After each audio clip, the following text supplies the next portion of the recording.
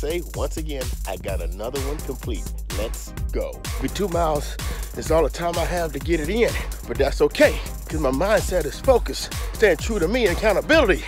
So I'm still getting the win. One mile down, I transition to a smile from a frown. Time to turn it upside down. Let's go.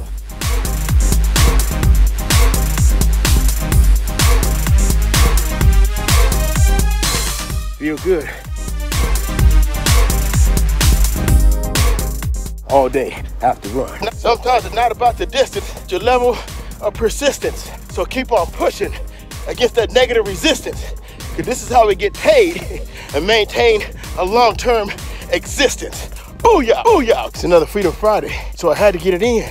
So I'm gonna end this run with a cartwheel, whew, and a spin.